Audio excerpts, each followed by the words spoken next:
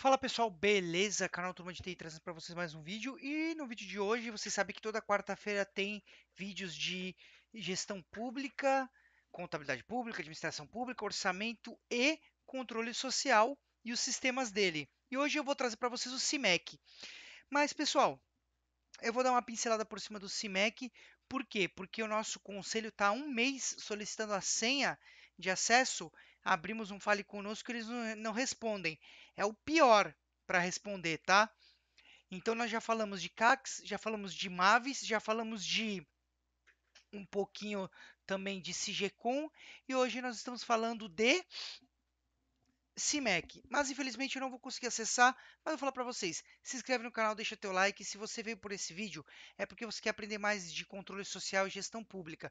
Então não deixa de dar teu like, comentar. Se você não está logado, pelo menos divulga aí no teu Facebook, no teu WhatsApp, vai ajudar bastante o canal. Pessoal, o CIMEC, é, o Sistema de Monitoramento e Controle Social, ele tem aqueles vários. Vocês estão vendo que ultimamente o governo federal está fazendo é, comercial do PAR, né? Programa de Ações Articuladas. É pelo CIMEC que você controla, você acompanha emendas de parlamentares feitas para o seu município na educação. Pelo CIMEC, alguns convênios também são controlados. A Secretaria de Educação usa o CIMEC. Então, o CIMEC, basicamente, você vai ter um ou dois ou três, quantos funcionários forem da Secretaria de Educação, a conta do prefeito, a conta do secretário de Educação, e essas contas vão gerindo o sistema, vão acompanhando as obras, vão alimentando as obras que, de repente, assim, por exemplo, teve um convênio para a construção de uma quadra, o município recebeu dinheiro. Aí o município vai alimentar o sistema com as informações, com as fotos, com as planilhas, com tudo que é necessário para o pessoal do CIMEC avaliando e dando aval, liberando verba, tá? Aí você tem educação conectada ali, das unidades executoras controlando a verba que vai para cada uma. Enfim, o CIMEC tem uma série de módulos dentro dele para educação conectada, os de livros, etc. e tal. E existe a parte onde os conselheiros do Fundeb, principalmente o seu presidente, tem que ter um cadastro logado para CPF senha para poder dar o parecer do conselho do Fundeb no CIMEC, tá? Só que, infelizmente, o CIMEC demora muito para responder. Você tem que abrir um Fale Conosco, tá? E ele está demorando aí um mês para responder. Aqui, se eu colocar meu CPF e minha senha, não vai funcionar. Quem é novo, ó, esqueceu a senha ou solicitar acesso, aqui você escolhe o seu, tá?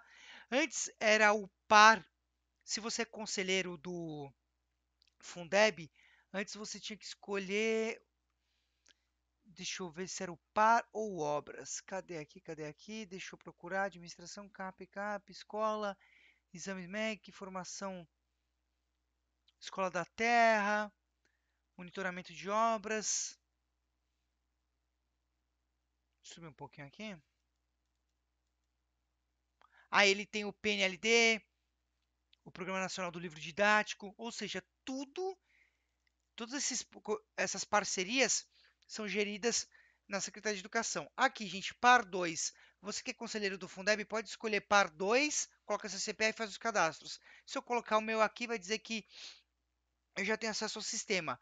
Quando eu coloco o meu usuário e minha senha, ele diz que eu não tenho permissão para nenhum dos módulos. O que tem que acontecer? Eu tenho que abrir um Fale Conosco, dizer que eu sou do novo, CACS e pedir liberação. Até agora nada, tá? E é um saco, é um saco é, essa parte aqui. Se eu vier aqui colocar, vamos lá, fale conosco CIMEC. Tá? Aí ele vai abrir o par Fale Conosco e aqui você pode fazer uma nova consulta ou acompanhar. Você coloca seu CPF, o número da consulta e vai ver os diálogos que estão tendo. Gente, infelizmente esses sistemas do governo são chatos, são complicados, são difusos.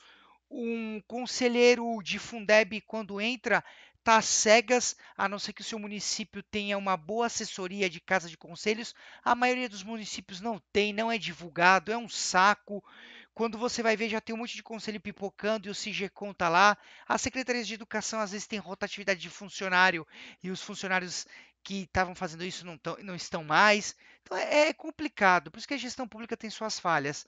Mas a gente está aqui para ajudar, apoie o canal. Se você tem a ver com gestão pública e conselhos, dá essa força para o canal. E lembrando que quando eu tiver meu acesso do CIMEC, eu trago aqui para mostrar para vocês como é o acesso para um membro do CAX Fundeb. Valeu e até a próxima.